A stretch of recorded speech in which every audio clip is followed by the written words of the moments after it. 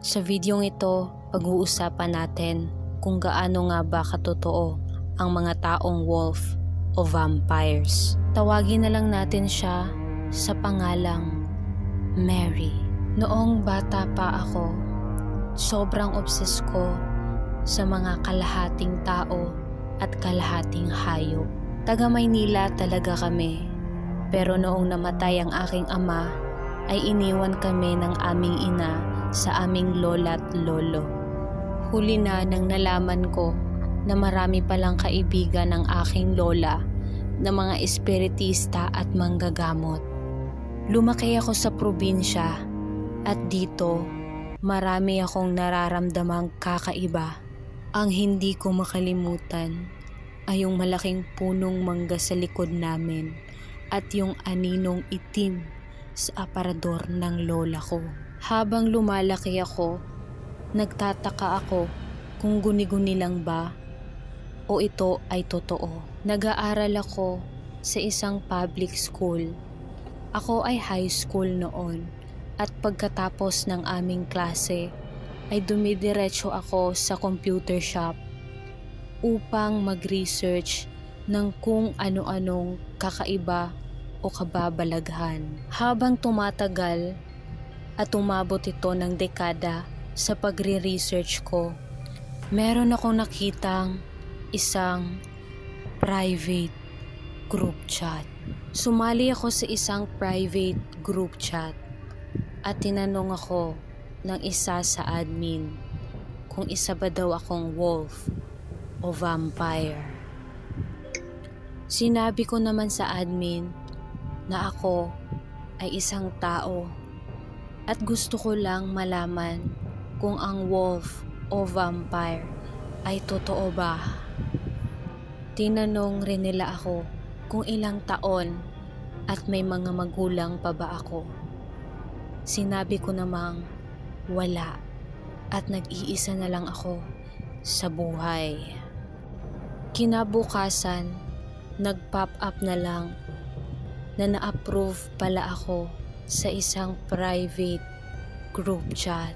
At doon, nakita ko ang mga taong wolf at vampire.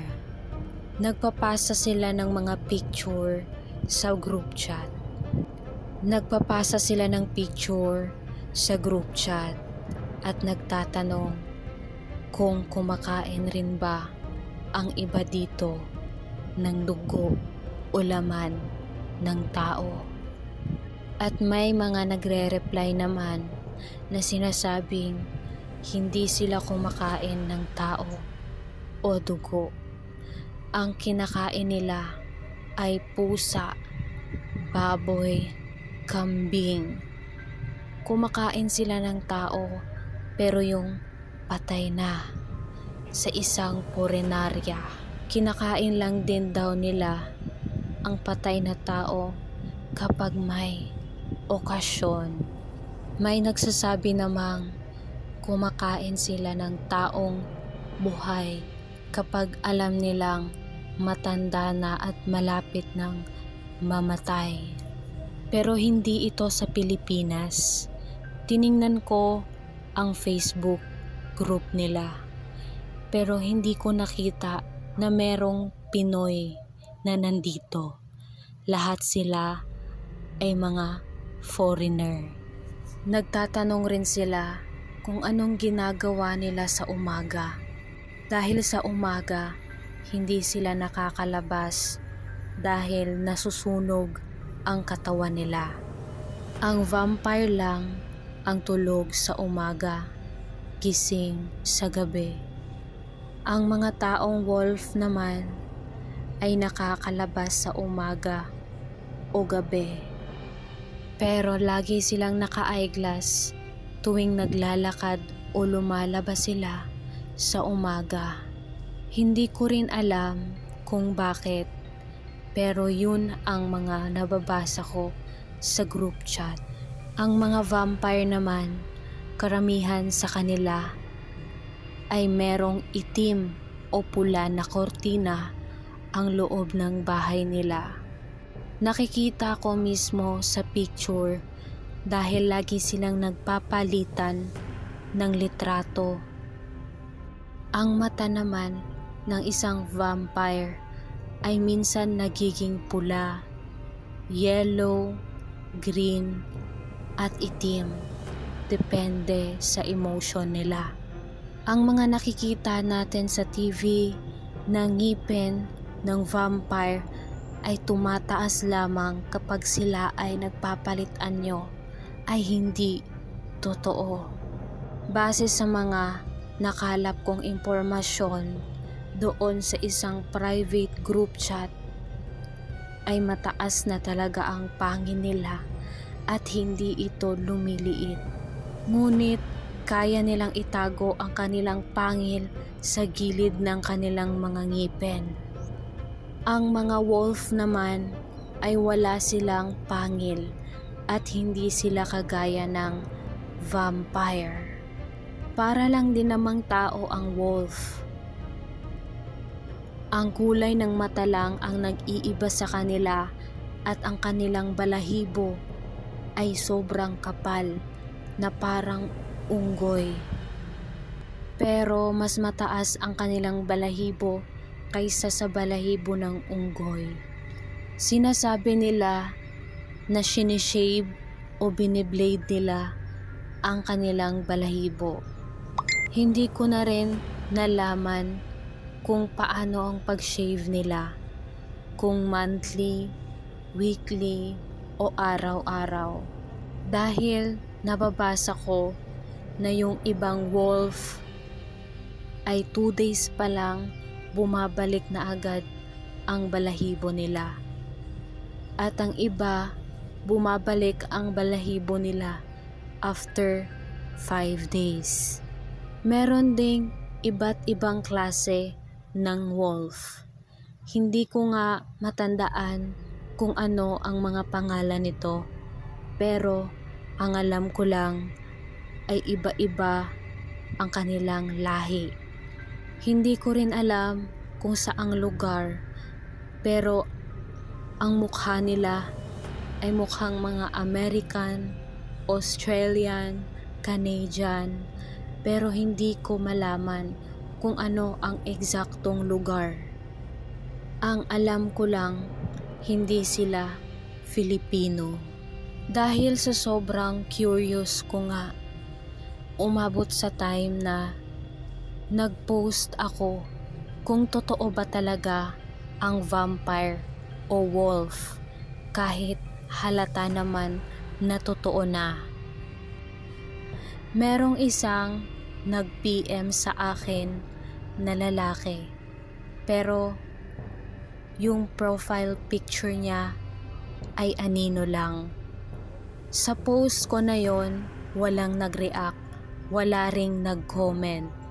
Pero may mga nag-message din sa akin na mga lalaki at babae. Tinanong ako ng isang lalaki na ang profile pic niya ay anino.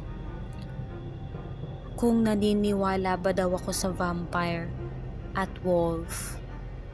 Sabi ko naman, hindi. Kaya ako nagtatanong kung totoo ba talaga ang vampire o wolf. Tinanong niya ako agad at ang sabi niya, gusto mo ba maging wolf? Ang sabi ko naman ay oo. Sabi niya naman, taga saan raw ako? At sabi ko, taga Pilipinas. At dito, tinanong ko kung paano ako magiging wolf. Sinabi niya sa akin na bago ako magdesisyon, kailangang pag-isipan ko ng mabuti dahil hindi biro ang maging wolf o vampire. Sabi ko naman sa kanila, masamang tao ba ang maging vampire o wolf? Bakit kayo nagkaganyan? Pwede namang maging tao na lang. At ang sabi niya sa akin, kung pwede pa lang.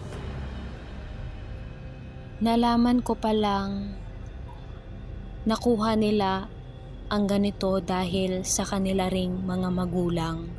dahil ang kanilang mga magulang ay isang half na tao at half na wolf. Sabi niya sa akin na sa pamamagitan ng pagkagat o pag-inject o pag-inom ng dugo nila ay magiging wolf ako. May isa namang lalaki ang nag-message sa akin. Sinabi niya kung nag-message ba sa akin ang kanyang kaibigan. Sabi ko naman ay oo. At sabi niya sa akin ay huwag daw akong maniniwala sa mga sinasabi nito na para bang meron silang tinatago. Tinanong niya rin ako kung gusto ko ba talagang maging vampire or wolf. Sinabi niya sa akin, huwag ko daw pangarapin ang maging vampire or wolf dahil sila ay walang Diyos. Hindi ko maintindihan kung anong ibig sabihin nang wala silang Diyos. Pagkatapos noon ay binlock niya ako sa Facebook at sa Messenger. Naka-remove na rin ako sa group chat nila.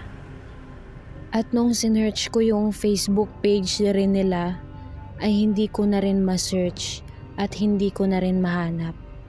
Kaya hanggang ngayon, hindi ko pa rin makumpirma kung totoo ba talaga ang wolf at vampire o hindi. Pero sa tingin ko, ito ay totoo. Kasi kung hindi, wala silang dapat katakutan at itago.